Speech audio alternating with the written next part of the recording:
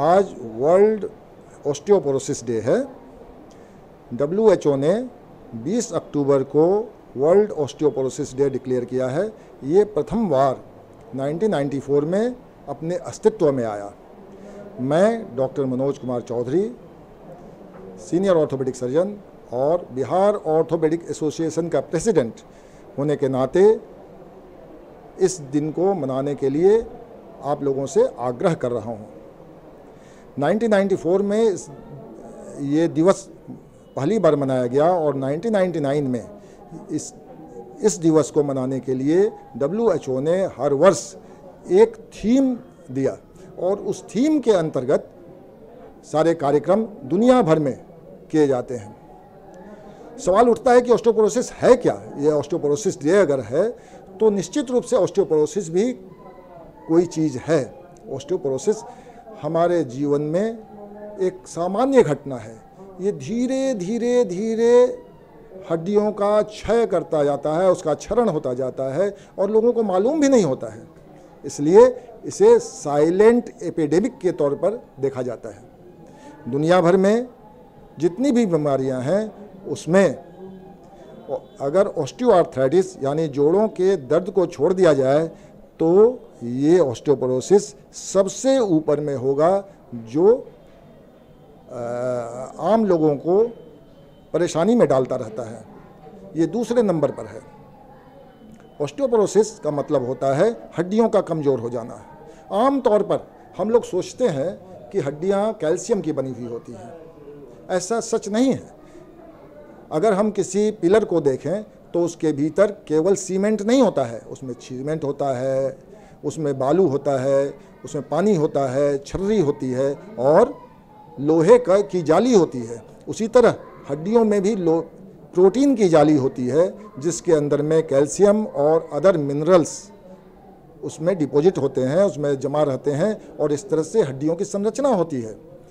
धीरे धीरे प्रोटीन की कमी से और मिनरल्स की कमी से ये हड्डियाँ कमज़ोर होती जाती हैं और अगर एक यूनिट मास को हम लोग देखें कि उसमें कितना प्रोटीन कमी हो गया है तो ये पता चलेगा कि हमारे हड्डियों का क्षरण कितना हुआ है।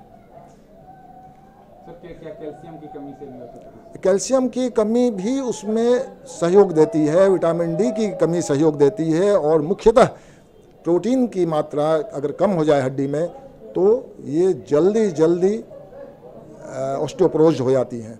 ऑस्टियोपोरोसिस में क्या होता है? हड्डियाँ अगर आप देखेंगे तो उसमें बहुत छोटे छोटे छिद्र होते हैं। आप इस हड्डी को देख सकते हैं इसके भीतर बहुत छोटे छोटे छिद्र हैं। लेकिन अगर ये छिद्र बड़े बड़े हो जाएँगे यानी कि इसके भीतर अगर मांस कम होता जाएगा ये छिद्र बड़े होते जाएँगे तो ये पोरस हो जाएगा और तब इसको ऑस्टियोपोरोसिस कहेंगे। सबसे पहले तो ये हम लोग जाने कि ऑस्टियोपोरोसिस कब हो रहा है कैसे हो रहा है और इसमें क्या क्या चीज़ें हैं जो सहयोग करती हैं? पचास औरतों में 45 साल की उम्र के बाद और मर्द में 60 साल की उम्र के बाद हड्डियाँ कमज़ोर होती जाती हैं। जब मेनोपॉज हो जाता है, जब उनके, उनका मासिक रुक जाता है तो उसके बाद उनका जो हार्मोन है, उसका लेवल घट जाता है और उसके चलते हड्डियाँ कमज़ोर होती जाती हैं। कमज़ोर होने का और भी कई कारण हैं। और ख़ास तौर से औरतें इसमें शिकार होती हैं। अगर हम देखेंगे, डाटा देखेंगे तो पाएँगे कि तीन में से एक औरत ज़रूर ऑस्टियोपोरोसिस से संक्रमित हैं और पाँच में से एक मर्द हैं। यानी मर्द इसके चक्कर में कम पड़ते हैं, औरतें ज़्यादा पड़ती हैं। और इसका कारण क्या है? इसका कारण है हमारा सामा, हमारी सामाजिक संरचना। आप अगर देखेंगे तो जो हमारे यहाँ उम्रदार लोग हो जाते हैं, उनके खान पान पर ज़्यादा ध्यान नहीं होता है। औरतें तो सबसे अंत में खाती हैं और बूढ़ी औरतें तो उससे भी ज़्यादा अंत में खाती हैं। पूजा पाठ सब कुछ करने के बाद खाएँगी। और अगर परिवार में दूध आया हुआ है तो पहले बच्चों को मिलेगा, उसके बाद कमाने वाले मर्दों को मिलेगा, तब औरतों को मिलेगा। लास्ट में हमारे बूढ़ी औरतें आएँगी तो उनको चाय मिल पाएगा, उससे ज़्यादा कुछ नहीं मिलेगा।